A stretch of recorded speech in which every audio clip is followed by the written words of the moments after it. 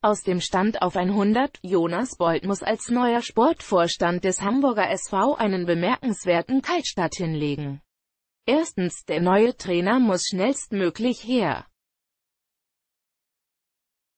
Zweitens, neue Spieler müssen ran, die die Mannschaft qualitativ und mental stärken. Jede Menge Arbeit befand der smarte Bolt bei seiner Vorstellung am vergangenen Freitag. Das ist definitiv eine enorme Herausforderung. Bolt soll in dieser Woche den Vertrag mit dem Nachfolger des gescheiterten Hannes Wolf perfekt machen. Wenngleich ihm der Zeitdruck missfällt. Qualität geht vor Zeit, meinte der 37 Jahre alte Manager. Top-Kandidat ist trotz Beckers Demission Dieter Hecking. Vermutlich ist der 54-Jährige nach der Absage von Bruno Labbadia der einzige ernstzunehmende Anwärter, da die von Becker bevorzugten Trainertalente allesamt aus dem Raster gefallen sind. Lesen Sie auch die Personalrochaden, die der HSV in den vergangenen Tagen vornahm, geben dem umworbenen Hacking aber auch zu denken.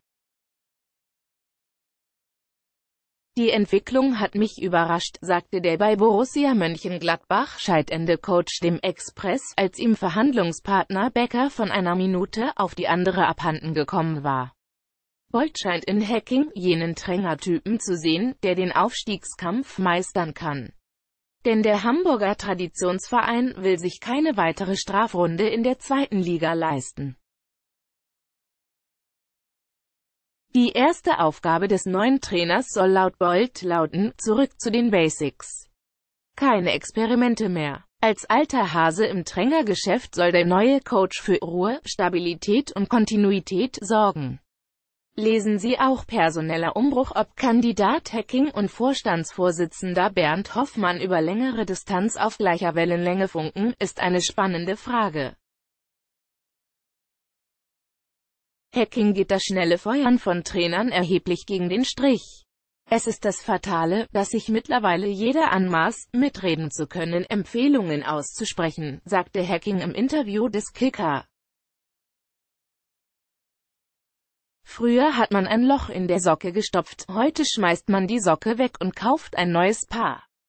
Viele sind nicht mehr bereit, gemeinsam durch eine Krise zu gehen und gestärkt daraus hervorzugehen. Hoffmann wird die Mahnung aufmerksam registrieren.